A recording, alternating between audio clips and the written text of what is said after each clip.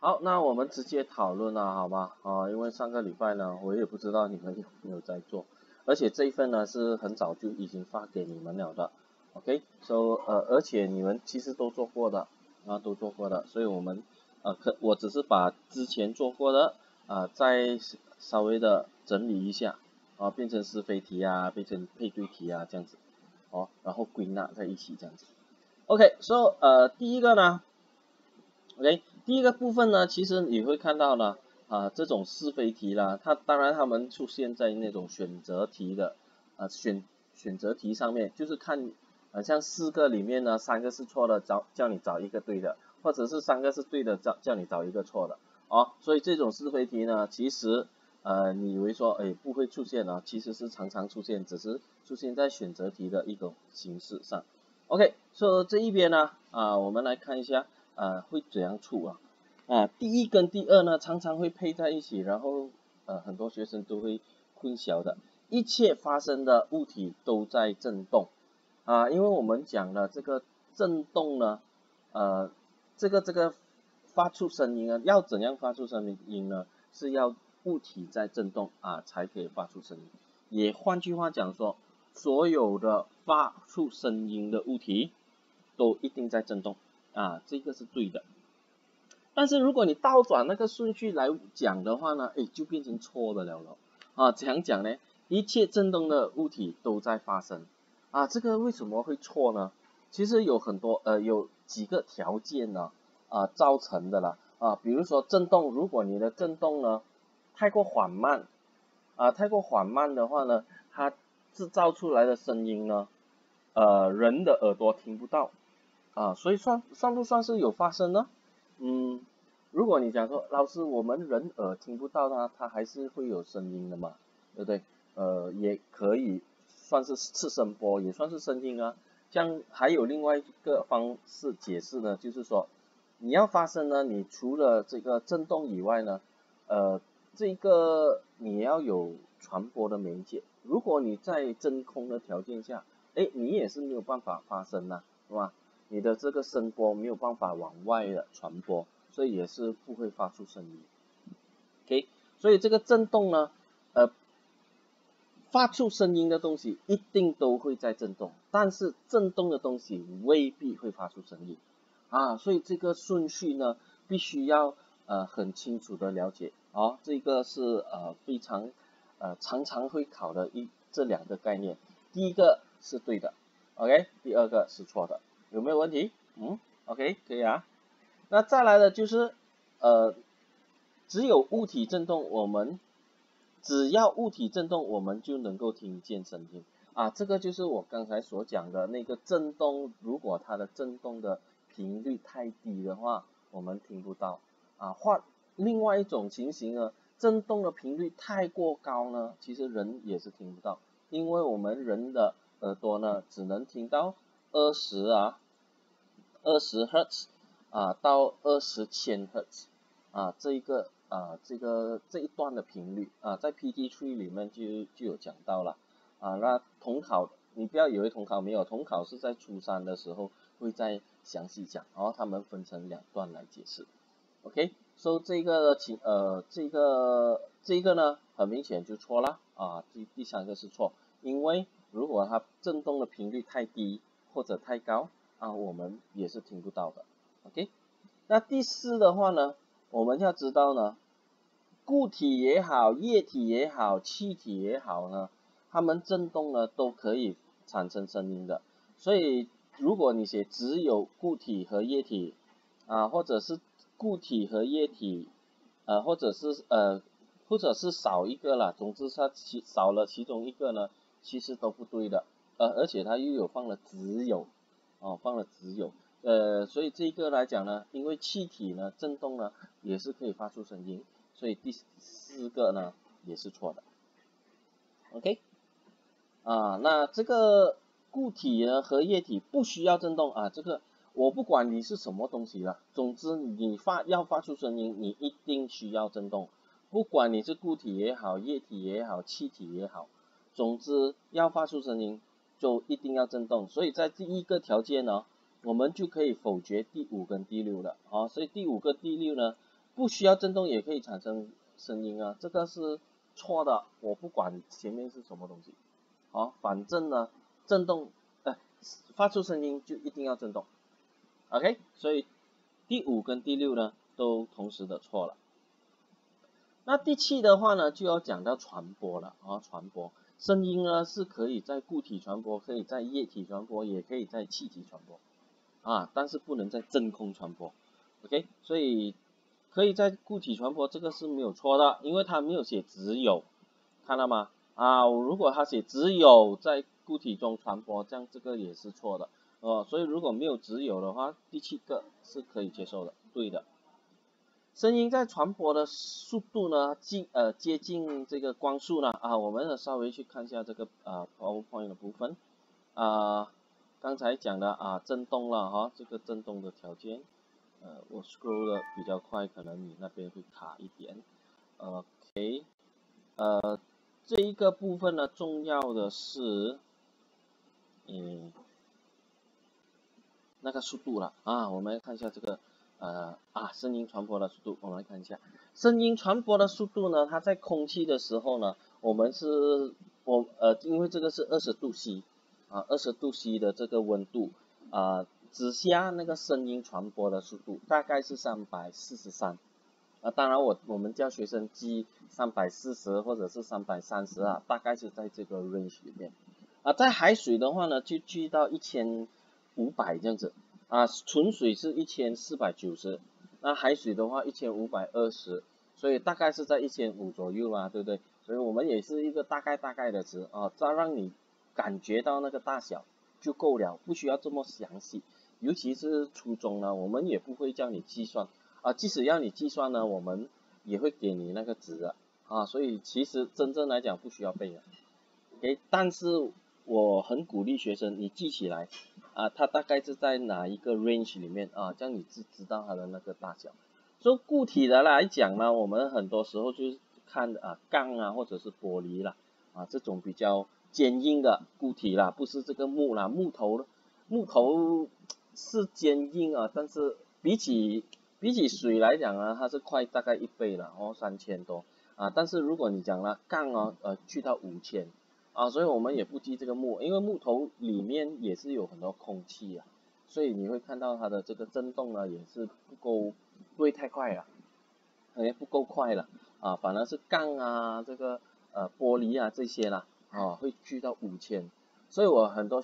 时候呢，跟学生讲，你大概记了，空气大概是三百三，呃，这个这个水里面大概是一千五，啊，然后如果在固体的话，钢啊、铁啊这些啦，大概是五千这样子，哦，所以你就可以感觉到那个大小。光是多快啊啊！我们上一呃上个礼拜呢，我们是有讲到光的速度嘛，对不对？三乘十的八次方，差得远吗？差很远呢。啊，三乘十的八次方呢，有八个零在后面呢，这个三最最高的那个是五千而已，啊，所以这个速度来讲呢，接近光速啊，差得远，没有 没有办法接近，啊，所以第八呢肯定是错的，嗯，肯定是错的。第九来讲呢，他就讲，哎，传播的速度跟呃温度无关，哎，这个是比较比较我们。啊，上课的时候没有这么注注重，啊，没有这么注重的讲到啊，但是事实上呢，你可以看到其实是有有带过啦，只是考试比较少考了，啊，最多是出那种像这个呃是非题的这一种罢了，是有关的，为什么呢？温度升高的时候呢，这个粒子啊，它的运动速度会增加，啊，它运动速度增加呢，这造成了它的这个能量啊。呃，传递呢也会比较快一点，所以呢，在低低温的时候是三十五度的时候是三百四，二十度的时候三百四十三，其实也是差不远了哦。但是我们要知道呢，是它是有影响的，啊，有影响的。OK，所以他讲无关呢是错的啊，无关是错的。好，再看一下第十题哈，在真空的真空的速度是最快啊，是错的哈。啊，我们讲了，在真空是没有办法传传递的，啊，我们只能在空，呃，固体啊、液体啊、气体都可以啊，但是唯独真空没有办法，OK，所以这个是错的。第十题，第十一题来讲啊，啊就问你呢，速度最快，速度最慢呢？啊，刚才我有稍微的给你去看一下那个数据了，固基本上呢，固体是最快的，啊，空气是最慢的，所以这个很明显的是倒转了顺序，它讲空气最快，固体最慢了，啊，这个是倒转了顺序，所以就这个是错的了。OK，第十一题也是错的。那第十二题来讲呢，呃，水中的声速比空气的声速小于啊小于空气的，水应该是比较大啊，所以水应该是比较大了，因为液体一千五这样子，空气三百三啊这样子。OK，所以你会看到哇，十二、十三、十四啊，这些全部都是用一个概念都可以解释完的，就是空气的速度最慢。啊，液体的里面的空呃那个声音的速度第二，然后固体的最快啊，所以你可以看到十二呢也是用这个概念，十三也是的，空气应该是最慢的，它讲大于啊大于啊大于就是快过的意思了，快过钢铁就错了咯，啊钢铁快过空气是对的咯，所以第十四题反而是对的，OK，所以你可以看到呢，它是四题。它其实是四题四题的啦，哦，四题，然后答案是 A，四题答案是 C，啊，这个四题，诶，四题为什么？这四题都错啊，我忘记了，我应该是有调过那个数据，OK，然后这个，啊，到第十四题，好，我们再看到第十五题啊，声波是一种重波，对的，啊，我们的波有两种，第一个是横波，那另外一个是重波，横波的。呃，我们上面有讲到吗？啊，横波的话，你啊，这个是很好的一个例子了。哦，我们用绳子这样子摇出来的，哦，这样子有一个这样子的一个波浪形啊，我们叫波浪形这样子的。OK，这个叫横波。那这个这个纵波是怎样呢？纵波它是有呃一部分是压缩啊变变密，然后另外一部分就是疏，所以它的这个疏密疏密疏密这样子的一个成啊。情况了啊，我们通常是用这个弹簧去模拟的。当然你可以看到，老师我弹簧这样子摇，像这个呃绳子这样子摇好像也可以啊。所以其实弹簧是有两种波都可以做制造而制造得到。哦，绳子我们通常就为了区分啊，让学生比较容易容易区分，所以我们讲绳子的是呃横波啊，弹簧的是中波。那我们在在除了这个是实验室里面我们模拟的情况来讲呢，还有生活中的那些波呢，哪一些是横波啦？啊，光波是属于横波来的，啊，光波是属于横波。那重波的话呢，我们就讲呃声波就是属于重波，OK？所以声波是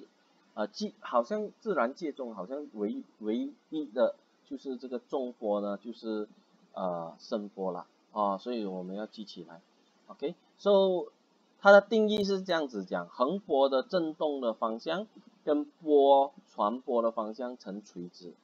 那这个重波来讲呢，它的这个重振动的方向跟波的传播的方向呢是互相平行的，好，这个是它的定义啊，OK，声波是一种振波是对的，它是必须靠这个呃介质来传播，这个也是对的。啊，因为它需要空气，呃，或者是水也好，固体也好，就是不能，呃，是真空的。OK，声波是可以，呃，产生反射和折射的现象，啊，你不要以为只有光可以哦，声波其实也是可以的，啊，声波其实也是可以的，只是我们，啊，在这一章我们只是读到有反射，好像没有讲到有折射，事实上其实是有，啊，其实事实上是有的，只是我们。很难解释到有这样子的一个情况啊，因为很难模拟啊，看不到嘛，因为只是看靠听到，所以呢，呃，声音的折射呢是必须要到高中呢我们才会呃详细的提到，所以这个你还是要给他对的啊，因为它是你只要记得啦，只要是波的一种呢，它都可以反射，它都可以折射啊，这样子可以理解啊，OK。第十七题来讲呢，振幅越大的话呢，声音越强啊，这个也对啦，我们叫做响度啦啊，我们叫它响度啊，所以振幅越大的话呢，响度就越大。OK，呃，然后再来的就是人的耳朵可以听到的频率是二十赫兹到二十千赫兹。那这个呢，这个的话呢，呃，这一个董总的这个课本呢，应该是要在初三才上到，所以我呃我相信是有一些老师啦，因为他教了 PT Three 啊，教了这个 Science 的话呢，他就讲，哎呀，这个东西 Science 上了，所以他就放过来这个同呃这个这边来考。所以你们最好两个都要懂啊，啊最好最好也也懂，记起来啦，反正也是不难记，OK，啊希望是不要出到这些 science 的东西，呃，OK，说然后十七跟十八呢，其实比较呃比较偏向于讲这个响度啊频率啊，然后呃响度是这个整幅的，然后音调呢是频率控制的，然后还有一个是音色。OK，所以我们等下再详细讲啊，下面啊选择题的部分。OK，再来配对题的话呢，这个是配对这个噪音啊。我们噪音有分，呃有分呢是在哪一个阶段呢去消呃去减弱它啊？我们是有分的，就是第一个呢是在声源处，也就是说发生噪音的那个地方呢啊发出这个噪音的这个部分呢，我就要减弱它。啊，就比如说有哪一些呢？比如说他们讲了哦，禁止禁止鸣这个车车笛，就是换了啊，在城市的地区他们会有讲说禁止你换了啊，所以这个也算是一种。然后嗯，枪的那个灭音器啊啊，因为枪就在枪发出很大的声音，所以它在枪口那里直接有一个灭音器啊，这一些啊，说还有一些是什么呢？摩托的。摩托的那个声音其实很大声的啊，那些 m a r i n b e d 啊很喜欢去把那个消音器给去掉啊，因为他要他的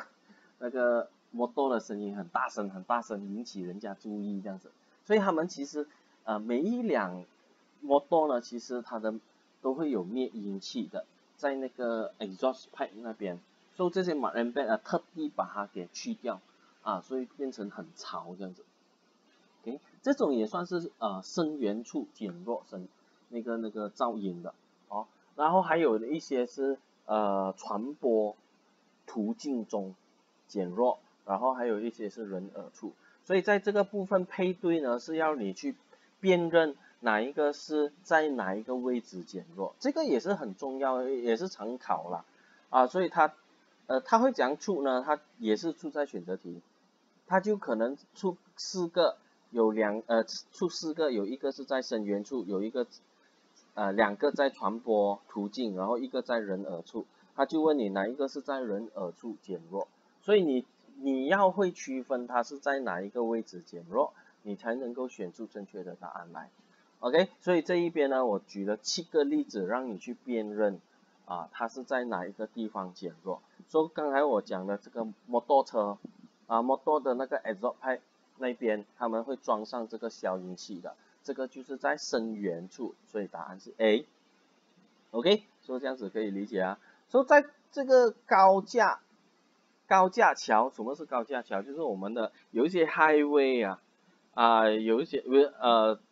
中华旁边那里有一个什么叫叫什么 Duke Highway 啊啊高架上来的对吗？所以太位通常他们车呃跑得很高的速度的时候呢。通常 engine 声就会比较大声了，所以很多时候呢，这一些啊，尤其是在市区里面，或者是靠近住宅区的话，这些 highway 啊，它都会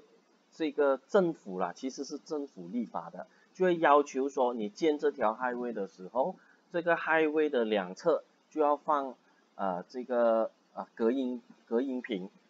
啊隔音屏，所以它也不算是真的是在声源处。因为这个声源应该是这辆车，啊，所以说我也没有办法每一辆车都装嘛，对不对？这个是不同的人家的车，我没有办法，所以我建 highway 我只能在 highway 的两旁，所以这个只是在呃传播的途径中减弱的，OK，所以这个第二呢是属于 B 的，那 C 的话呢，种植树木呢跟防音这个屏呃隔音屏是很类似的一个效果。啊，只只是说它是比较大自然的一个效果。啊，因为那个叶子呢啊叶子的这个呃排列啊啊都会比较随便的排列嘛，对不对？所以声音一传过去的时候呢，乱七八糟的去去反射呢啊，就算当做是就是可以减弱了那个声音的。OK，所以很多时候呢，啊，高速公路啦，比较像是很像南北大道啊那些地方啦，他们也是会有，呃，建这个这个这个，就都会有种树木啦，啊，种树木啊这样子的。OK，不过是这一边可能是树木，呃，这个是学校附近，啊，因为学校啦，你们在在学校里面不是学生太吵了，而是怕影响到学生上课啊，所以我们放。啊，种了很多树这样子，OK，啊，不过现在的情况是学生比较吵哈哈哈，OK，第四题来讲啊，呃，设计的这个运动员他会戴上护耳器，只要你是在耳朵旁边直接放一个东西去盖着它的话呢，这个就是在人耳处减弱了，OK，戴耳罩啊，或者是耳塞呀、护耳器啊，啊，这些都是 C 的这个选项啦，OK，人呃工。建筑工地啊，噪音大，呃，你请关关上你的门窗。这个门窗的话呢，跟跟这个工地呢有一段的距离啊，而且又不是直接的在你的耳朵，所以这个是在传播途径中的。OK，那建筑工地上，如果他问讲的是啊那些建筑工人呢，他戴上了护耳这个耳罩呢，啊，这样那个选项呢就会变成 C 了，啊。OK，又或者是他讲这个建筑工地呢，它被限制不可以在晚上啊工作，因为晚上会吵到人家啊睡觉，那这个也就会是在声源处减弱了。所以不不是看那个呃建筑工地的啊，而是看它怎样的一个措施去减弱它。OK，所以建筑工地上我们可以有几种方式去解释。所以这个关上门窗呢，是在传播途径啊减弱的，所以答案是 B。然后第六题呢，啊，防止噪音的耳塞啊，耳塞啊，耳罩啊，啊，这些都是 C 的啦，在人耳处减弱，OK。然后第七呢，就是呃，进市区内的汽车啊，它的禁止呃禁禁鸣啊，喇叭禁鸣就是不可以晃人家。啊，你晃人家 啊，就会吵到了哦。比呃，说这个是 A 的情形啊，啊，就是不让你晃了，完全的连声源呢，直接的把你 cancel 掉这样子的意思。OK，所以这个也是常常会出现在选择题啊，然后放四个，比如说它会有呃，我也不知道它会怎样出啦，哦，反正两个 A，两个。呃，两个 A，一个 B，一个 C 啊，叫你选出 B 的出来也可以，叫你选出 C 的出来也可以，啊，这样子，OK，好，那我们就就进入选择题的部分啊，OK，有问题吗？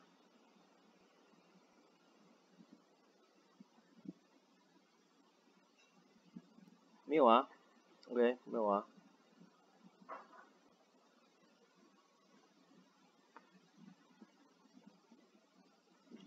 OK，那我们来看一下选择题的部分。所以你可以看到，呃，第一个呢，他问的这个题目呢，就是你只需要记得这个概念呢，就是我们的物体发出声音啊，就是有这个呃有震动啊，发出声音的一定会有震动啊，哦，所以你看这个是它的鼓啊，鼓发出声音了之后，他的手去触碰那个鼓面，然后鼓声就会消失了。啊，这个是因为他的手呢，让这个鼓面呢停止震动啊，只要它停止震动呢，它的这个声音啊就会没有掉去了。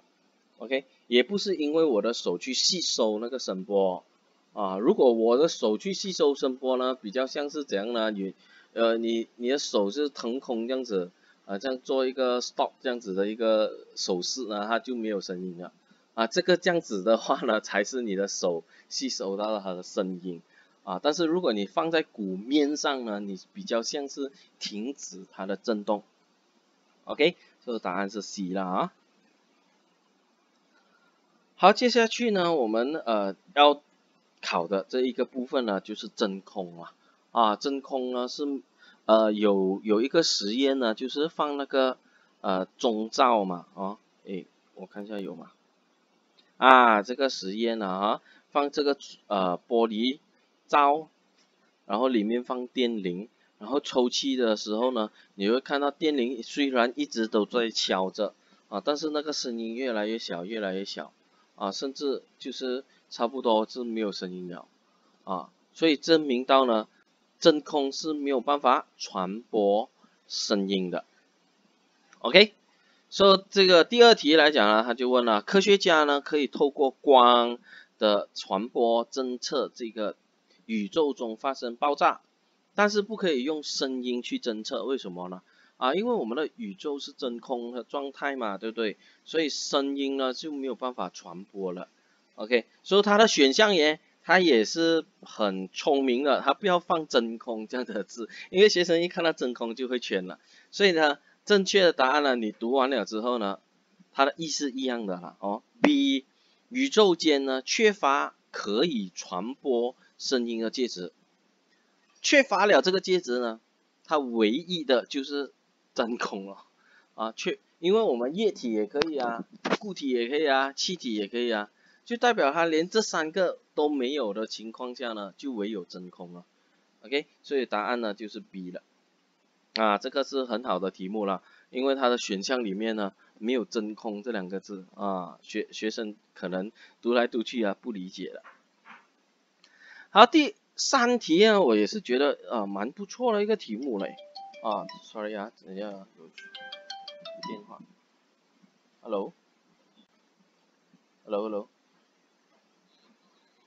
OK，我叫马口下去，马口下去接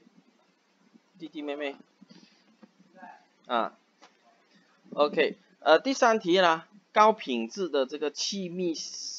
气密式的这个隔音呃隔音窗户。啊，它的窗户里面呢有橡胶，诶，软橡胶条，然后有双层玻璃的设计。那你觉得这个双两个玻璃之间呢，怎样处理它呢，才是效果最好的？啊，效果最好。有一些人呢就讲说，诶，我填填氧气，呃，其实没有没有差别的，你填空气也好，填氧气也好呢。它的这个声音也是可以传播的，贴贴反光纸，你又不是要不让那个光进来嘛，对不对？啊，反光只能反那个光不了，又不是反那个声音啊。OK，然后呢，保利龙啊是比较，呃，其实保利龙也是蛮有效的啊。保利龙除了可以隔热以外呢，它也可以有吸收声音啊，因为它粗糙啊，啊，粗糙的这个这个界面呢。但是呢，如果你比较起来的话呢，真真空的话呢，它效果会更好啊。我个人觉得的 Donkey 跟 A 呢，其实都有效的，哎，都有效，对于这个声音传递呢，都会有阻隔的一个效果啊。但是如果你比较 A 跟 D 的话呢，真空呢是更加的好的，OK，因为它完全没有介质可以让它传播啊。这个这个。呃，保利龙来讲呢，它纯粹是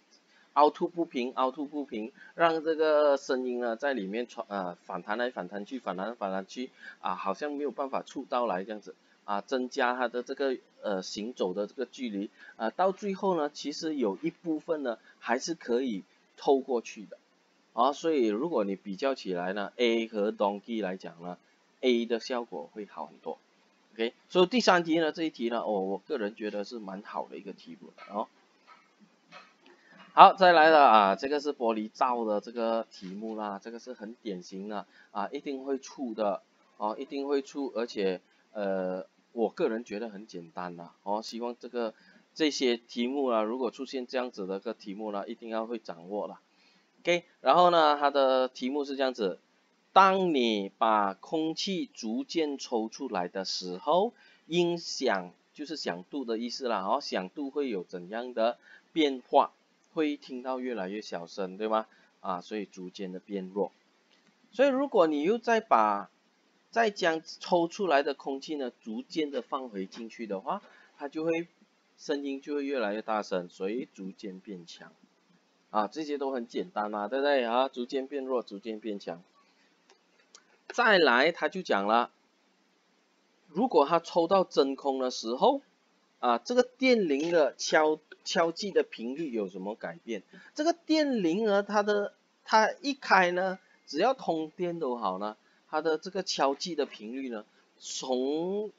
一直从头开始呢，它的频率都一直都没有改变的。为什么会越来越小声？纯粹是那个声音没有办法透过这个真空传出来，哦，所以那个频率敲击频率来讲呢，一直都是保持不变的。而这个实验呢，我们能够说明什么呢？说明了空气传播呢，它是需要介质的。又或者是有些时候呢，它的选项里面是讲说，呃，声呃真空没有办法传传播这个声音啊，也是可以。啊，所以看它的选项里面有什么啊，主要是呃都是一样的意思了哦，都是一样的意思。OK，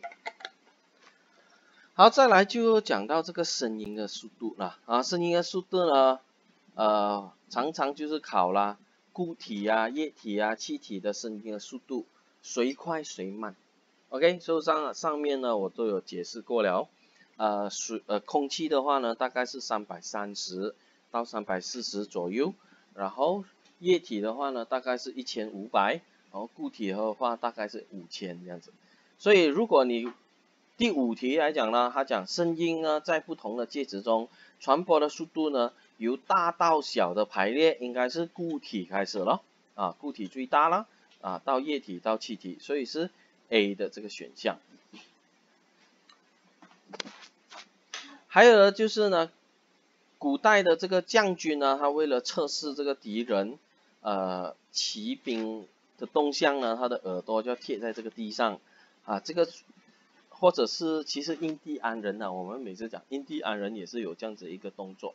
啊，那这个动作呢，主要的目的就是因为大地呢是固体的，所以它的传播的声音传播的速度呢是比空气来的快，这样我可以预早呢可以听到呢，哦，对方。呃，是不是来这了这样子？哦，所以因为声音呢，啊，通过这个地传过来的速度呢，会比较快，OK？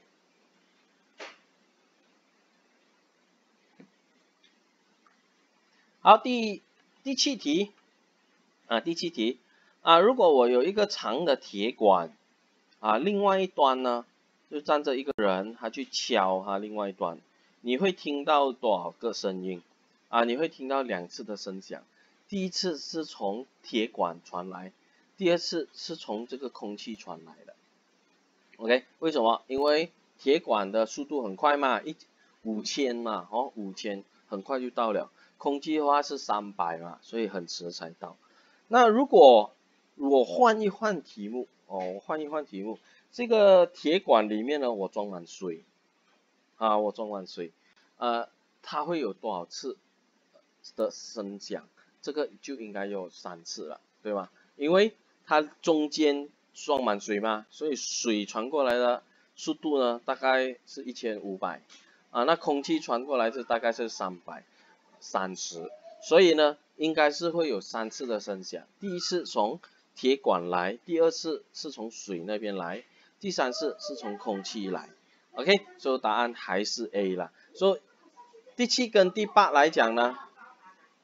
第七跟第八来讲呢，是类似的题目来的，哦，我只是我把它换一换了，哦，装满水，啊，你就要知道三次了，OK，那这个题目呢，如果它出在简答题的部分，你应该也是要会答了，第一次啊，两次还是三次了，OK，所以要看清楚它有没有装满水了，啊，有装满水，它就会三次，没有装满水，它就是两次，OK，哇，我。上的有点快吗？我会上太快了，啊，呃，OK，如果我们提早应可以提早结束的话呢，那我们就啊提早啊提早完了哈，OK，啊第九题呢，我们就有讲到这个回声了啊，声音的话呢，我们讲到回声呢，我们就要讲到几个，呃，几种，呃，呃，回声是什么？回声是这个声音传，呃，传反弹的时候，就是反射的时候，呃，就会有第二次的声音啊，就变成了你讲出来的声音啊，然后反弹回来呢，可能会慢一点嘛，因为主要是这样的那个。声声音的传播速在空气中传播速度大概三百三十，啊，所以如果那个距离一远的话呢，那个讲的声音跟反弹回来的声音可能就会差了零呃一秒或者是两秒以上，啊，人的耳朵呢灵敏程度呢大概呢如果你差个零点一秒呢，大概就可以听得出来了，好，所以有一点这样，诶，好像有两个两一层的。就像两层这样子的声音这样子的啊，会有会有听得出一些差别这样，OK，所以这个就是我们的回声啊，反声音反射回来啊这样子的意思。所以课室里面呢，很多时候呢，我们不会听到回声的啊，不会听到回声的，主要的原因是因为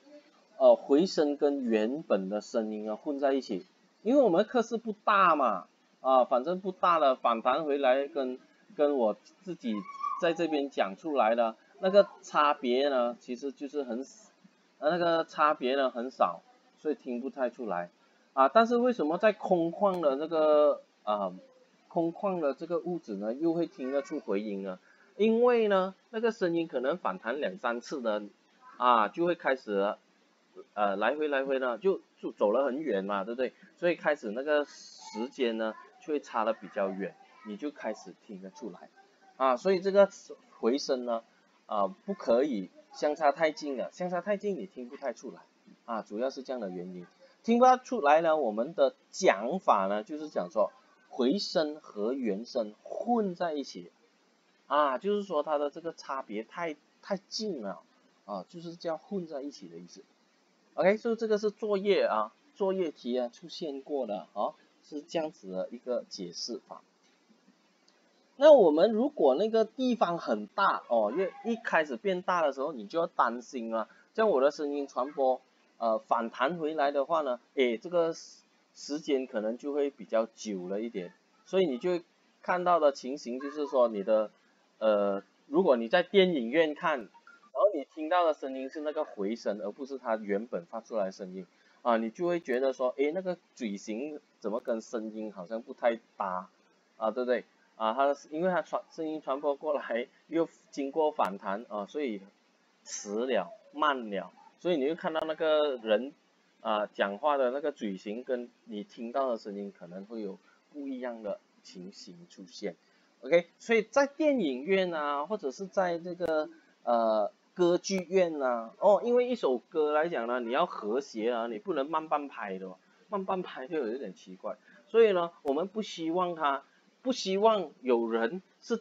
不是听到他这个直接的声音，再听到那个回声，啊，因为如果你一直听到听到的是回声的话呢，啊，就变成了慢半拍啊，就感觉上好像怪怪的啊，听不美的情形。所以呢，在这种歌剧院啊，或者是在啊演奏厅啊，或者是在这个电影的这个院啊，电影院啊，所以往往它的墙壁呢都是呃做成凹凸不平的。啊，凹凸不平。那凹凸不平为什么可以减弱这个反射呢？啊，这个我们有，呃，我们其实有一个最简单的一个讲法呢，就是说粗糙、凹凸不平的啊，这或者是软的材料呢，就可以呃吸收这个反射的，减弱这个反射的。如果你要增强这个反射的话呢，你就要坚硬、平滑。啊，这样子的情形，OK，呃，那当然还有一种呃讲法呢，就是那个器型的啊，器型的那个形状啊，啊，因为它的这个声音呢，一进去的时候，它就会不断的往内反射，就不会出来呀，出不来这样子的情形，所以这个是在课本上有讲到了，不过我觉得这个有点太复杂了，也是很少考的啊，我们比较常考的就是。呃，反正就是呃粗糙的啊，然后呃凹凸凹凸不平的啊柔软的啊这些就可以减弱那个反射。OK，第十一题也是一样啦，他就讲发生发现到这个呃电影院的墙壁凹凸不平啊，然后地板就有铺这个绒毛，主要的这样子的设计主要原因是因为它要防止回声啊，所以它有不同的讲法，有一些是讲呃减弱声音的反射啊，或者是防止回声啊，这些其实都是一样的啊，一样的意思来的啦，OK。好，那我们再看一下这个音调啊，哦，响度啊，还有这个音色啦，这个是常也是呃这个部分呢，你会看到它题目比较多，而且呢是我们的上个声音的这一章呢啊的重点来的，我我找一下哈，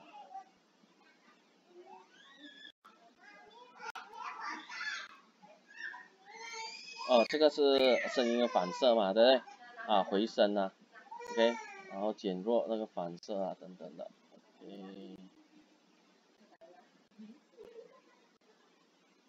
，OK，OK，对啊，对啊，声音的呃声波的吸收呢啊坚硬啊光滑的啊就有利于反射，柔软啊粗糙的就有利于吸收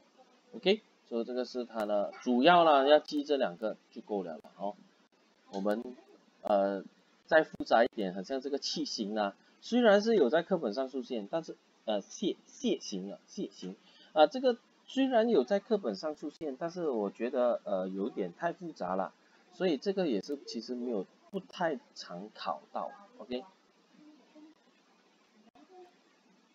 啊音调了啊到音调，所以这个音调啊响度啊音色啊这三个呢呃要要去呃要搞懂。啊，音调呢，就是我们所谓的高音、低音啊，啊，这个声音很尖呐，啊，啊，那这个主要呢，这个音调呢是被什么影响？被什么物理量影响？啊，这个我们去研究那个声波呢，我们发现到啊，这个有一个物理量呢，叫做频率，这个频率就是一分钟振动的，一秒钟，sorry，一秒钟振动的次数，它的单位是赫兹啊，赫兹。然后音调呢，如果越高的话，啊，频率通常就会越高，呃，应该是应该用频率越高，就会造成它的音调越高，啊，这样子的一个顺序会比较正确一点，OK，然后还有的就是如果有弦的情形下，啊，有弦就是呃很像橡皮筋啊，或者是我们的这个小提琴啊，啊，有弦的情形下，嗯，你拉的越紧，OK。越短啊，然后它的这个越细，它的音调就会越高，所以要记这三个啊，越短的啊，然后越紧的，还有越细的啊，音调通常就会比较高。那反相反的话呢，就会比较低了啊，这个是音调的部分。然后响度的部分呢，我们就讲了是被这个声振幅影响了。啊，当然除了振幅以外呢，还有那个呃声源的那个距离也是有关的啊，你离很远啊，自然的那个响度也会减少啊。不过我们常常只是讲振振幅罢了啊，因为这个振幅呢比较呃是旧课本里面我们常常讲振幅，就没有提到这个声声源跟这个听的人的这个距离。还有一个是比较虚幻一点的。就是这个音色。啊，音色主要是什么原因啊？啊，我常常就讲说，哎，不同人讲话你可以听得出来。啊，这个是刘德华在讲话，哦，这个是在张学友在唱歌，所以这些呢，就是呃不同人的一个声音的特色来的。啊，声音的特色，所以呢，你就可以区分不同的人在讲话，又或者是不同的乐器呢。不同的乐器呢，因为它的这个发声的一个方式不一样。比如说小提琴呢，小提琴你虽然是有弦，吉他也是有弦啊，但是吉他你是拨弦的情形，弹那个弦，那个弦在震动。但是你这个小提琴呢，你是用那个马尾这样子去烧它，让它震动，所以这个呃发声的方式不一样，所以发出来的声音呢。你会听得出来，哎，这两个是不一样的声音来的。啊。这把是小提琴，啊，这把是啊吉他，虽然他们弹的这个声音啊，呃，这个可能同一首歌，弹同样的那个呃 key，啊，弹同样的 key，但是呢，可以听得出来，哦，这个是小提琴，那个是吉他，啊，又或者是钢琴，钢琴也是有弦的哦，钢琴其实里面也是有弦，然后它是用一个木锤子去打它。所以当钢琴的声音，其实你也听得出来，哎，这个是钢琴弹出来的，啊，另外这个是吉他弹出来，所以都可以分得出。所以里面到底是怎样的一个情形呢？OK，如果呃真正来讲呢，他们研究那个波形啊，它的波的形状啊，啊就会有差别了，哦，但是我们现在呢，我们就没有再细讲了，我们纯粹就是告诉你们。呃，音色呢，纯粹就是那个声音的特色啊，所以这个是有点虚幻的啊，讲不好像比较难理解的。OK，所以我们来看一下那个题目会讲出了哈，呃，第十二题他讲了，小提琴如果拉弦拉的紧，它会怎样呢？弦拉的紧，音调就会比较高咯。啊，音调不音色比较好，这个呃呃音色没有好坏之分的啊，音色没有好坏之分。啊，只是有不同的特色，啊，所以我们没有讲说，哦，刘德华的声音就是比较好的啦，张学友的是比较差，没有人这样子讲，啊，这个是纯粹是声音的特色来的，啊，不是因为他沙哑沙哑这样啊，他就是不好，啊，他也有他的好嘛，对不对？所以你一看到啊音色比较好啊这种这样子的选项肯定是错的，啊，声音响度比较大，除非你拨弦比较大力。小力啊，大力小力啊，这样子了。噪音，哎呦，我们弹小提琴，你叫我噪音，你是觉得我是不会弹小提琴的意思吗？OK，所以这题来讲啦，刚才有提过的了啊，弦拉的紧，自然的音调就会比较高。OK，好，第十三题啊，这个是不同的那个呃，不同的这个玻璃瓶装了不同分量的水。啊，你会听到的是那个声音不一样，那这个声音不一样，到底指的东西是什么？指的是音调啊，还是响度啊，还是啊音色啊，还是振幅？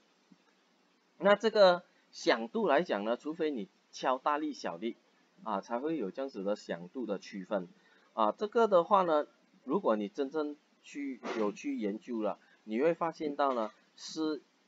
它的音调不一样。你可以弹出一首歌哆来咪发嗦出来的，好，那还有一种更加复杂的题目，他就会问你啊，到底我敲这个瓶子啊，到底是水在震动，还是空气在震动，还是在呃这个这个这个水在震动啊？这个是比较悬的部分了，哦，诶。啊，他他们有时候会这样问了，啊，这个敲的话呢，我觉得是比较像是这个瓶子，啊，玻璃瓶在震动，啊，那如果你是吹的话呢，呃，吹它发出声音的话，就会是空气在震动了，OK，说呃不同的情，呃不同的情形，问哪一个东西在震动了，也是一种题型来的，OK，那这题的话呢是音调了，哦，哆来咪发嗦它的。它的这个呃高低音的不一样来的。好，第十四题来讲呢，啊男呃这个这个同学呢，他回答问题的时候啊，每次要小声的啊，老师这题的答案是 B 啊这样子。OK，说老师讲啊什么？请你讲大声一点啊，这个声音太小啊，或者是要大声一点，这个指的东西是什么？大小声，这个叫做响度啦，啊。所以这个是很简单的啊，只是要你区分哪一个是什么响度是什么啊。我后这个孩子的响度也是很高啊哈。OK，啊第十五题啊不同的乐器笛声和钢琴声，钢琴的是用那个弦去打那个呃用那个木锤去打弦的声音啊，这个笛子呢是这个空气振动的声音，所以它的声音的这个。音色是不一样的，OK？啊，诶，第十七题，哎，第十七题也是一样的题目啊，哦，第十七题，嗯，也是笛子和小提琴啊，啊，只是不同的乐器而已，这个也是音色啊造成的啊。不过我有一年的题目啊，那个好像是在初三的呃浴室出现啊，我是觉得有点懊恼啊，因为它出现了是大提琴和小提琴，呃发出来的声音你可以区分呢是因为什么差别，所以它给答案也是给音色。啊，但是我个人觉得说，如果是大提琴和小提琴的话呢，你如果学生学音调的话呢，其实应该也是可以。哦，如果你去检呃，你去 check 一下哦，大提琴的声音啊是比较低沉的，因为它整个六个弦的已经是放在比较低音的那个位置上的，然后小提琴呢是比较高音的那一段的。啊，所以如果是大提琴和小提琴区的区分的话，写音调应该是也是可以给分的。不过那个老师讲，呃，只能给音色，所以那一题我是觉得是比较不是很好的题目了。哦，诶，那如果你遇到的话呢，嗯，怎么办呢？我也不知道怎么办，你就选音色吧。啊，音色了啊，因为音色其实有差别的。很小很小的差距哦，因为小提琴跟大提琴呢，它都是用那个马尾梳去去摩擦，然后震动出来啊。但是人家呃，我去研呃，我去看过看过那个他们的波形啊啊是有少少的不一样的。OK，说音色呢也要给啊音音，如果是小提琴跟大提琴呢，音色其实也是可以接受哦，只是说可能呃。需要一些训练呢，才可以听得出来。哦，Anyway，呃，我们希望不要出现这样子的啊有争议的题目了哈。第十七题，一个物体振动的越快啊，这个是什么意思呢？什么意思是振动的越快？啊，所以这样子的一个解释啊，你啊就是意思是说一秒钟震动五次，跟一秒钟震动是两次，是不是五次那个比较快呢？啊，所以如果你用这样子的一个角度去想的话呢，你就可以猜，感觉得到了，所谓的震动的越快呢，应该就是所谓的频率越高。那频率越高的话呢，这个音调就会越高。OK，所以这第十七题答案是 C。所以这个第十七题呢，这样子的一个写法呢，啊，振动的越快啊，你必须要。你必须要学会呃分析什么意思，好，振动的越快，其实代表了它的频率比较高，可以吗？OK，所以我们再看一下第十八题，我看一下有没有，呃，哦，第第三面呢，应该还有很多啊哈，哦，我是怕我太快讲完了，我我尽量的放慢了哈，有问题可以问哈，有问题可以问的啊，有没有问题啊？没有问题啊，啊，第十八题这个是统考的一个正式的题目来的啊，我们的这个声源，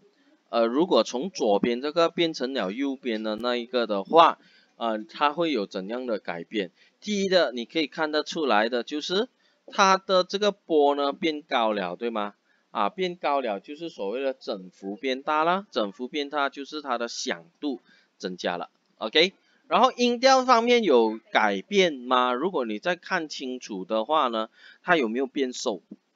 啊，有没有变瘦？呃，如果你去看那个这个波长啊，波长就是所谓一个波峰一个波谷的这个距离啊，你去测量的话呢，是有变短的。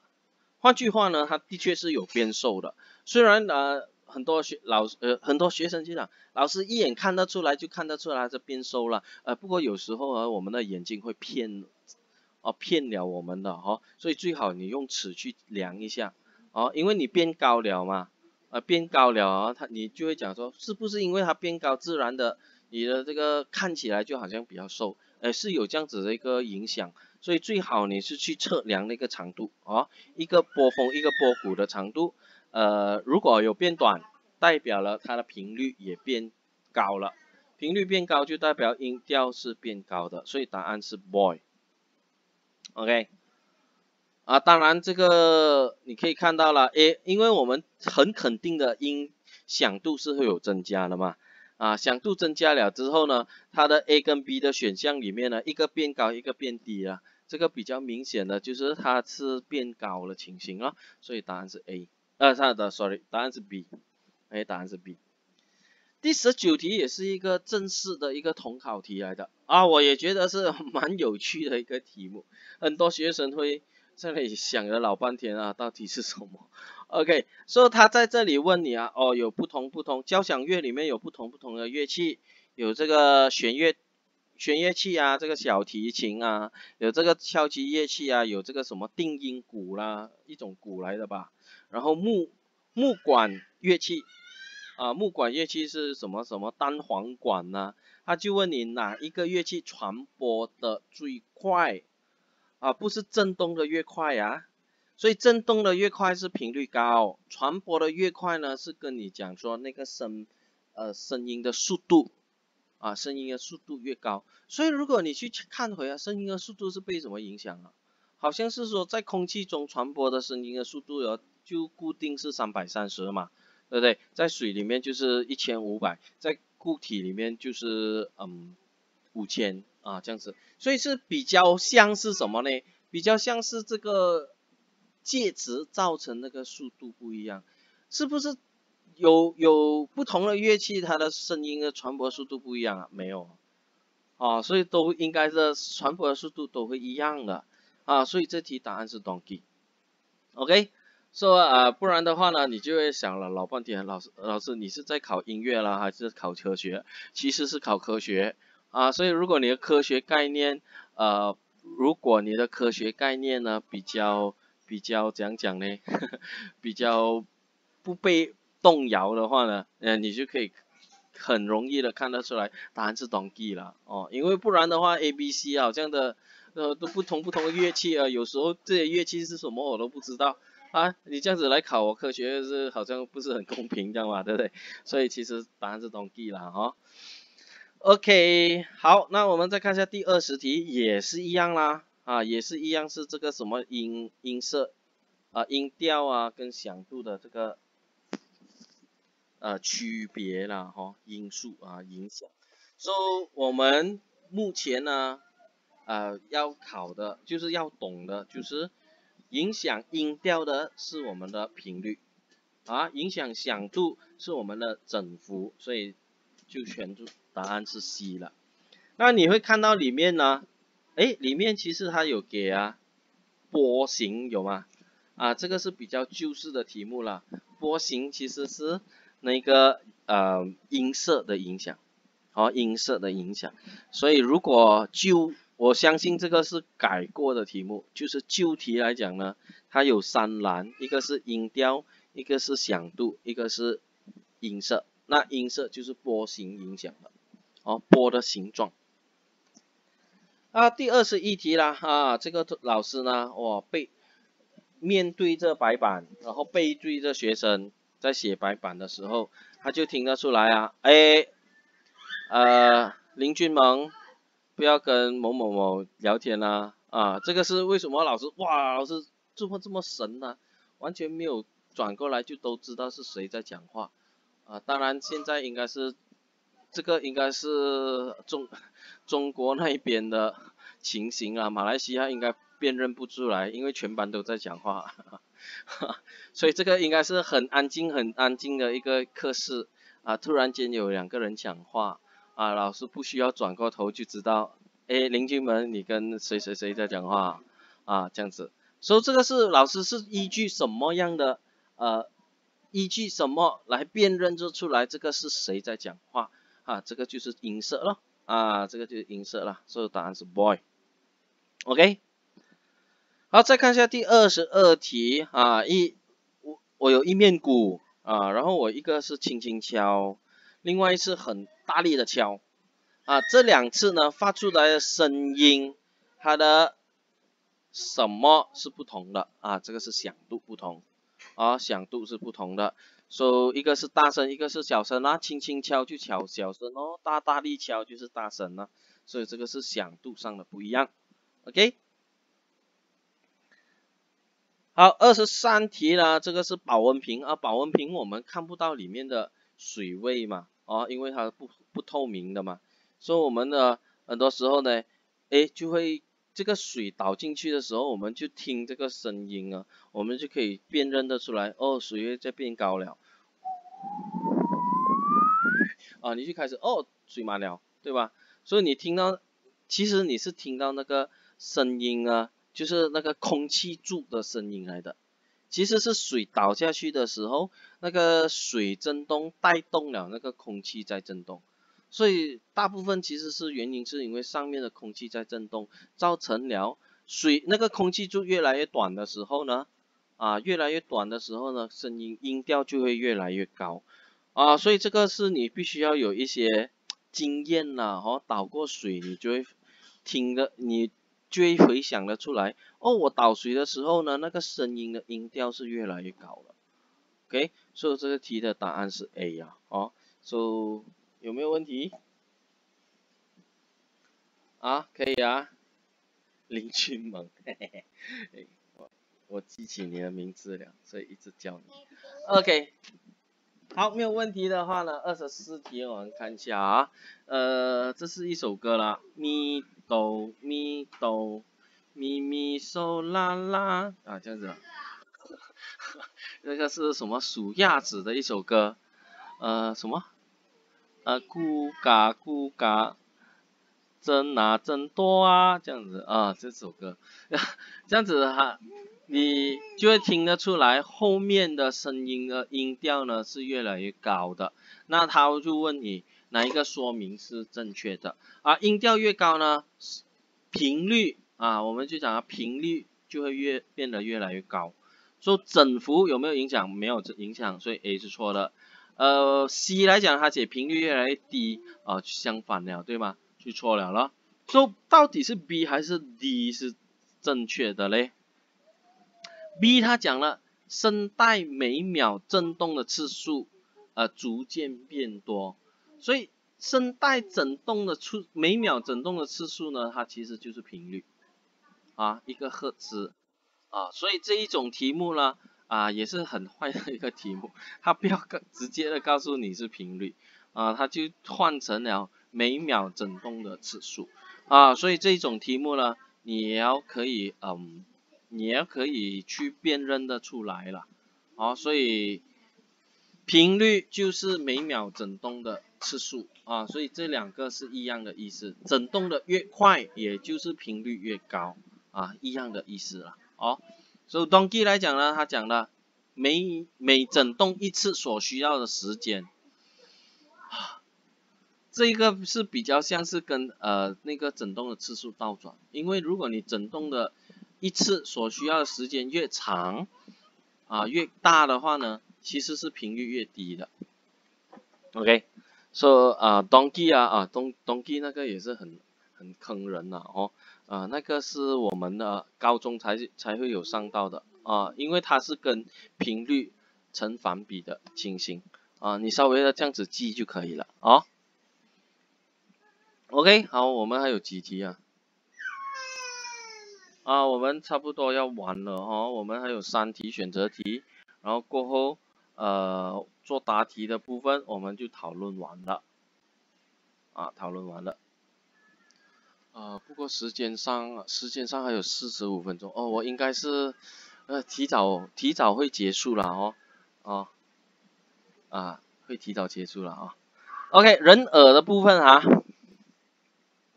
人耳的部分呢要记啊。你那个结构啊，要要要要记清楚了，哦，那选择题的部分呢，它没有太复杂的，它就最多是问你啦，啊，人耳听到声音的时候，是因为这个，我们可以用这个肥皂膜来模拟这个鼓膜，那这个这个这个喇叭发出声音的时候呢，这个肥皂膜呢也就会震动了，哦，但因为它的这个声波呢是重波。然后其这个重波呢传到这个波肥皂膜那里了，你就可以看得出来，这个肥皂膜呢也是在震动了啊！你不可以讲它向右运动了，因为它一个时候会向右，一个时候会向左，它会左右运啊左右左右这样子的啊，所以 C 跟 Donkey 呢都是错的了哦，你要用震动才比较正确一点。OK，答案是 A。那再来的就是呃保护耳朵的方法啊，二十六题。哦，我们那些哪一个耳朵什么结构啊，什么功用啊，其实也是有出现在选择题啊，但是我把它抽出来，因为做答题的部分呢，我会很详细的问到每一个部分啊，所以那个我就在后面呢，当做是啊介绍完所有的那个耳朵的部分了啊。OK，那保护耳朵的话呢，这些都是很逻辑的。很逻辑的啦，哦，很逻辑的，只是比较多人会误解的，就是要经常挖耳垢，啊，要经常挖耳垢是错的哦，啊，因为如果你去问这个医生来讲啊，啊，医生就会讲说，如果你太过经常挖耳垢啊，啊，你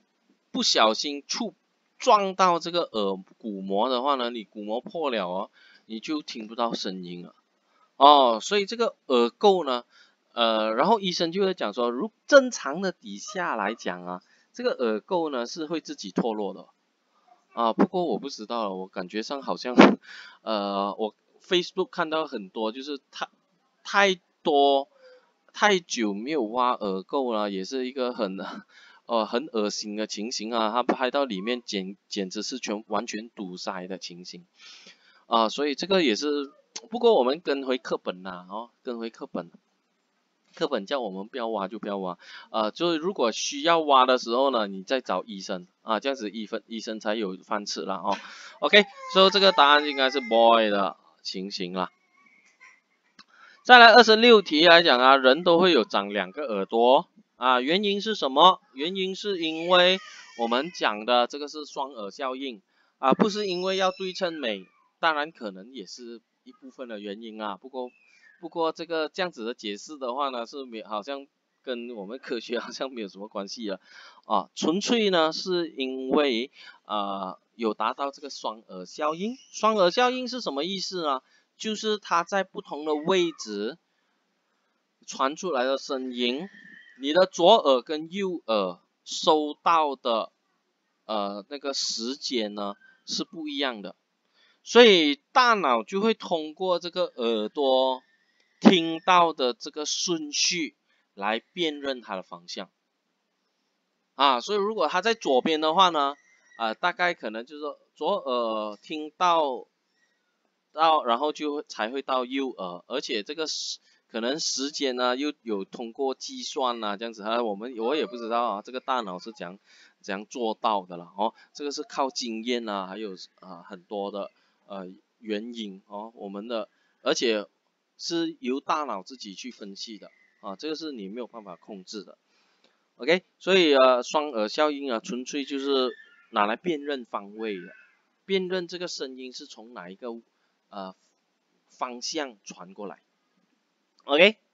好，那有没有问题？呃，休息一下下啊，啊，休息一下下哈。给我喝杯水一下，马克思，帮我装水。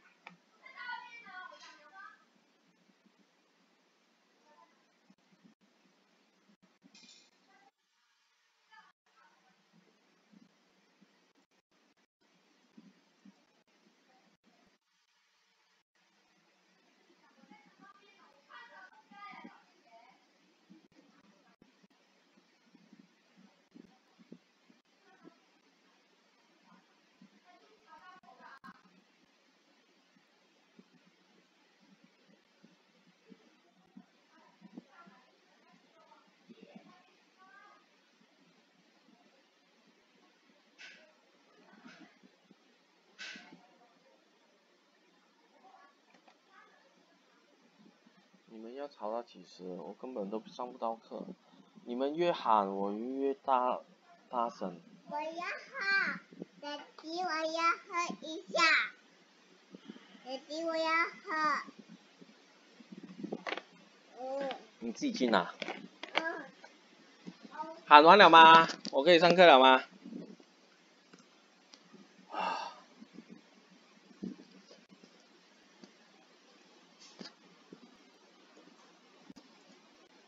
好，那我们最后一个部分呢，啊，呃，这个做答题的部分，我们来看一下哈，这个耳朵的结构啊，你们要呃详细的去读完它，啊，哪一个部分？我们最外面的这个啊，啊，这个这个，我们外耳啊，哦，就是我们可以外面可以看到出来的这个耳朵呢，我们叫做耳郭，啊，耳耳廓啊，那很不懂怎样读啊，耳廓。啊，啊里里面是有那个过境的过啊，啊，然后一个广字，OK，那 B 的就是那个外耳道啊，耳廓进去的那个那个道路啊，那条康庄大道啊，那个叫外耳道啊，所以这个是属于外面的哇，啊，是属于外耳啊，属于外耳的部分。然后呢，去到了鼓膜啊，就是那一片东西然后，那个薄薄的那一片。啊，这一片鼓膜呢，就可以把那个振动转，呃，把那个声波，呃，接收了之后开始振动，啊，就是开始振动了，然后，可以振。然后听小鼓呢，就是在这个鼓膜后面一点点，它是由这个这个鼓膜呢振动了之后，你呃。就会带动这个听小骨振动。这个听小骨的功用呢，它可以把这个振动给放大。我也不知道怎样啊，反正就是它可以把这个振动放大了。啊，这个鼓膜过后呢，我们就叫中耳了啊，叫中耳。然后去到耳蜗这一边呢，就是所谓的内耳了。那耳蜗呢，就是有点像蜗牛的一个形状的啊，耳蜗是蜗牛的形状，在这边。啊，这个一，这个是鼓膜，这个听小骨，啊，然后再知道这个耳部分，耳耳蜗，这个耳蜗呢就可以把这个振动，因为它有这个听感受器，啊，它就可以把这个振动呢转换成这个，呃，兴奋，应该是叫兴奋了，哦，呃，就是这个信号信号了，哦，然后通过这个 G 这个听神经呢传到大脑，OK。收局是听神经啊，所以这几个结构呢都是跟我们的听觉有关的，当然还有一些跟听觉没有关系的，比如说我们的这个 H 啊，还有这个 I 啦，啊这个 H 就叫半规管，啊 H 就叫半规管，这个 I 呢就是叫做咽鼓管，啊咽鼓管，以前叫欧式管 Ostagen tube，所以叫欧式管，啊现在叫咽鼓管，OK，哦有。在这里，H 是半规管，I 就是咽鼓管。OK，So 再来了就是它就呃有时候就会考你一些呃结构的功能，然后就问你是哪一个结构了，把声波转换成振动了，这个就是我们的鼓膜了，C 的部分。所以如果他叫你写代号呢，你也要写代号了哈，啊要写代号。哪一个结构可以把声音放大啊？它大概放大好像是放大十倍这样子，还是三十倍啊？我我不太记得了，哦，这个要确定一下。但是很肯定的是可以把声音放大，这个是听小骨的功能啊，懂记。那还有一个部分呢，它可以感受到这个身体的平衡啊，啊，这个是我们的半规管啊，半规管，然后可以平衡呃内外气压，其实它是鼓膜的内外气压。啊，不过我就把鼓膜给去掉了哈，不然的话呢，就有点像呢上面的啊，你就可以把鼓膜抄过来呀，所以我不要放那个鼓膜在这里啊，所以这个是 I 啊，平衡鼓膜内外气压的，这个是 O，呃，咽鼓管啊，咽鼓管的那个功能 I，哪一个结构呢？是将这个刺激转换成信息啊，这个刺激所谓的刺激就是那个。那个耳蜗啦，耳蜗里面的这个听觉感受器，它可以把这个刺激呢转换成信息啊，所以是耳蜗的结构，然后把这个信息传去大脑才是这个听神经啊 G 的啊功能，OK，OK 说可以啊，说这个是 A 是我们的耳廓。B 是外耳道，C 是鼓膜，D 是听小骨，E 是耳耳蜗，呃，G 是听神经，H 是半规管，I 是咽鼓管，OK。就这里有写完了。好，这个结构呢要去记得一下啦，啊，常常会考的啊，而且你可以看到呢，这些功能呢，呃，它不会特别，它很少会问耳郭跟外耳道的功能，因为这两个功能啊，老实讲啊是，呃，不是很明显的，啊，不是很明显，啊，很难问的，啊，这个那个这个啊什么 A 好像是叫什么收集那个声波，所以很难问啊。啊，甚至你要这样看啊，它有时候未必是这样子来出，它有时候会问你，请问 C 的功能，或者是请问 D 的功能，你要可以写得出来，把声音放大哦，哦，所以两边都要读啊，啊，这个是我是简化啦，让你容易做了，哦，啊，但是如果我问你听，请问听小鼓的功能，啊，你自己也要写得出来，把声音放大，OK。H 的功能，你可以讲平，呃，平衡，啊，感觉身体平衡啊，这样子，OK，好，最后一个部分呢，就是我们的计算的啊计算题。那计算题的话呢，呃，其实它是有点像第四章的啊，第四章的那个公式啊啊，第四章的公式，第四章的公式就是什么距离啊，速度啊。啊，距离、速度跟那个时间之间的关系，所以很多时候呢，我们就教学生怎样记呢？我们就用这个三角形来记。啊，这个三角形怎样用？很简单，它分成三个部分，一个是最高的那个叫做老大，啊，三角形的顶端这样子，金字塔顶端。所以我们要记得哪一个是在金字塔顶端的，这个是距离，啊，Superman，Superman 在。金字塔顶端，然后另外一个两个的，一个是 V，一个是 T，OK，啊这样子来记啦。所以这个怎样用啊？如果你要找 S 的时候，找位移、找距离的时候，你就用手盖着这个 S，盖着它啊。两个并排的左右的话呢是用乘，上下的就是用除法，所以呢 S 就会是等于 V 乘 T 了啊，这样子的意思。所以如果你要找 v 的话，你就用手指盖掉 v，啊，你就是用 s 除以 t 了，啊，这个是用除法公式咯。再来，如果你要找 t 的话，你就用手指盖掉 t，啊，然后你就是 s 除以 v 了。OK，所以这个金字塔顶端是啊 Superman，然后你就可以很容易的用这个方程式了。OK，所以我们来看一下，还有的就是要注意的是那个时间啊。等下我们来从题目看清楚。某个人如果他在某某一个工厂的呃炉锅炉汽笛声离开水后四秒啊，他才听到这个汽笛发出的声音。OK，当汽笛喷气发生的时候。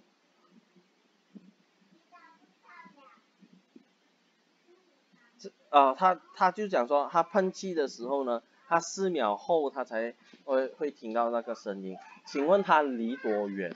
所以这个空气的速度他也给了你三百四十，所以他是不是要问多远？多远是距离啊？所以我们就要找 s 咯，对不对？s 我们用这个三角形，我们看到我要找 s，我就用 v 乘 t，我的 v 是三百四，我的 t 是四，OK。三百四乘四呢，就会得到一三六零米的，所以这个就是我们的距离了。OK，所以这个是很简单的啊，这个很容易算了啊，有没有问题？OK，没有问题啊。我看一下有没有问题，没有了哦，这边没有讲话的。OK，第二题啊，第二题要注意的就是如果它有回声的情形。啊，某个同学他站在这个高的建筑物前，他高声喊一声，然后四秒后听到声音回声，所以你要注意这个四秒到底是怎样，是不是那个声音去了那个高楼，然后再反弹回来我才听到，所以这个四秒是来回的哦，哦，然后呢，建筑物距离这个学生多远呢？我们是不是用两秒就才才是算到这个？呃，一层的距离，啊，所以在这边呢，虽然也是用 s 等于 v 乘 t，但是我的这个 t 呢不可以用四而用二，因为四四秒是来回啊，那两秒是过去罢了哦，所以这题算出来是六百六十。OK，那啊这个要注意了啊，总总之你要看到的是回声的话，那个时间呢？哦，我我建议啦，因为方法有很多，有一些有一些老师的做法就是先算出那个距离来，然后这个距离再除二，啊也是可以。哦，不过我的建议就是说直接把这个时间除二了，就会比较容易算。OK，那我们再看一下第三题啊，第三题的一个一个人他离这个峭壁五百零四米啊，所以有距离了，他拍了一。拍了手一下，然后三秒后才听到回声，啊，是不是代表了这个这个五百零四呢？是用了多少秒传播的？是不是传一层？传一层过去是不是一点一点五了？啊，对吧？所以我们的距离五零四呢除以一点五了，啊，这个叫讲座，哎，这个学生我我怕学生会不会做。所以这一题呢，我演算一下啦，反正我们时间多得很，啊，五零四除以一点五啊，学生会会算？很多学生，啊，分母有小数点他就很怕了，哦，我的建议是这样子的，啊，你下面乘十，就是把这个小数点移去后面变成十五，那分子呢就会补一个零了，上下乘十的意思。然后接下去呢，你可以看到的是两边呢，一个是零，一个是五啊，都可以都可以除以五的，所以你这个我们呃这个方法就是我们叫我叫月减法啦，啊我月减变三呐，啊月掉五啊变三，所以月掉五的时候五一五，然后零四的话也是零啊五八四十，OK，那可以不可以整除三呢？啊怎样看整除三呢？我只要数目啊，每一个数目加起来啊，它是三的倍数就可以整除三的啊。八加一呢就是九，九可以除以三，它就是可以除三。所以我们除三的时候呢，三三九嘛，对不对？三三九，然后又是等于一零，一零的话呢，我又除三，三三九又是一零，啊一一八了，这是一八了。所以六六三十八，所以得到一三六。OK。所以这个计算也要懂啊，哦，因为你们不能用计算机了，初中的阶段不能用计算机，所以呢，呃，如果他出了这些比较翻译翻译的那些数目啦，啊，你，呃，你就也要学会怎样算出来，啊，一百三十三，一百三百三十六其实是合理的，为什么？因为我们知道呢，它大概是三百三十到三百。四十之间，哦，所以它这个你可以看到了，这个老师设计到了也是很好的，啊，三百三十六又是整数，然后又是合理的一个速度，啊，没有讲很搞笑的千多的速度，OK，啊，再来看第四题啊，也是类似的情形，哦，但是呢，这一次呢没有在空气啦，空气的话是三级，啊，每一次用空气呢只能用三百三十，又或者是用这个。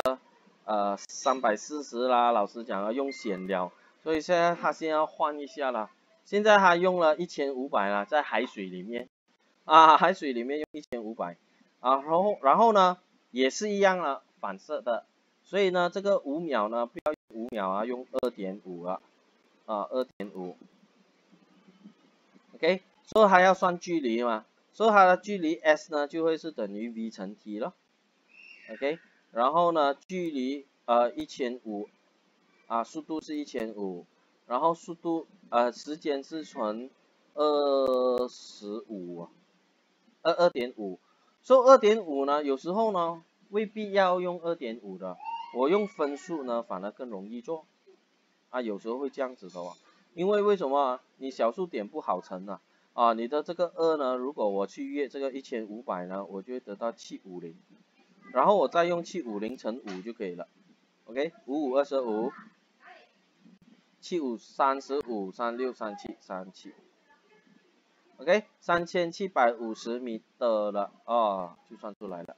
OK，所以这个是你们的那个计呃数学的啊计算的部分了啊啊要怎样的去可以把那个数目呢容易的算出来。啊，这个是按计算机按出来的，所以我也不理这样多。啊。正确，如果你是把它换成 five over two 啊，我们是二分之五的话呢，你可以约减先约掉二，然后再乘五了。OK，所以这个是一个 tricks 啊哈，呃这个是你们数学的啊数学的技巧。好，再来一个最复杂的啊，最复杂的一题了啊，出现过在啊，出现在你们的这个练习里面，也出现在我们考题里面，所以希望老师不要出到这样子的一个题目了哦，也是蛮复杂的了哈，诶，不过我又觉得会哦，啊，主要是为什么？因为你们的考试啊，我先预测一下哈，为什么我这样子认为？你们的考试是四十分，对吧？四十分，然后应该啦，选择题啦，我猜有两种情形出现，一一种情形是十五题选择题，啊，十五题选择题它乘二呢，就会是三十分，啊，那这个作答题的话呢，就会是十分罢了，哦。所以呢，如果是十分的话呢，就是五分五分两题咯，啊，因为你有两个章节，应该是两应该是分成平分的情形啊，啊，但是因为如果是这样子的一个区分的一这样子一个分数的话呢，不是很贴近真实的情况，因为我们的真实的考试来讲呢，应该是一半的分数是选择题，一半的分数是作答题，啊。所以我，我相信啊，有相信哦，到最后会怎样？我相信这次的考试哦，二十分会是选择题。至于二十分呢，他会出十题还是出二十题，我不晓得。哦，我不晓得。OK，所以我相信是二十分。然后呢，作答题的部分二十分，有十分是。选呃声音有十分是光啊，所以就如果是这样子的话呢，呃这个声音呢，你可以看到声音的作答题的部分呢，啊要么它就出这个，啊如果它出这个就很好，这里有五分，那计算题有五分啊这样子还可以啊，或者是这里有五分，然后这个问工人又来这个呃两分。啊，那这计算题就三分啊，这样子的题目就还可以。但是如果他是想要说这一边出五分，后面的计算要五分的话，他就唯有出这种很复杂的题目了。OK，说这个是大家要掌握的了。哦，我希望可以呃最好连这题复杂的都掌握到，那就很好啦，我们就不用担心这次的考试了，可以吗？OK，我们来看一下这一题了啊。啊，话不多说，虽虽然我的时间还有很久，啊，我可能上到九个字这样子了啊，我们可以提早放。OK，某个小小孩他站在两座高楼之间 A 的这个位置，然后他拍手了一下呢，一秒后他就会听到回声。请问空气的速度是多快？所以你就要想这样看。说它的回声是怎样产生的？OK，这个是一个很好的题目，因为它左边、右边都有高楼，然后中间呢，它站在中间，啊，左边是一百七十，对吧？啊，左边一百七十，右边是两百二十，两百五十五。OK，so 呢，那个声音会怎样传播呢？我放呃不同的颜色给你看一下。第一个呢，应该是从二七百五这里传到回来，OK。啊，然后呢，再来这一边这一边过来，反反过来，对吧？会这样子的情形啊，哦，因为我还可以出很多反射很多次的。只是说我们现在只是这样子来看的哈，啊，然后另外一边的反射可能是这样子，然后再回来，OK，OK，所以在这边呢，我们先看红色的部分哈，我们先看红色的部分。我们先看红色的部分的话呢，这一个从这一边来的话呢，呃，一百七十再加一百七十，我们就会得到三百四十了，对不对？那这个他讲了，用了一秒钟的时间，所以我们算一下呢，三百四十除以一呢，我们就得到三百四咯，meter per second 了。所以这个是我们的。第一题的啊，第一题的部分，我们算到这个速度是三百四十啊 meter per second，OK，三百四十 meter per second。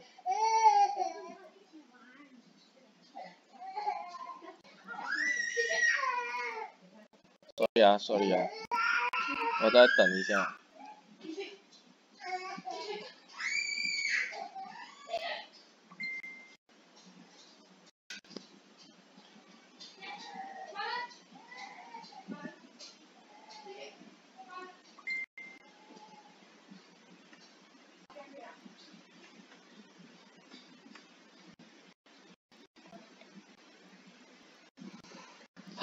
不好意思啊，啊，小孩子在吵。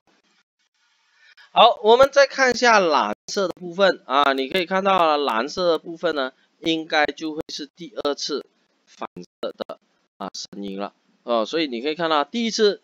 呃，第一次听到第一次回声后，我再听到第二次回声所需要的时间啊，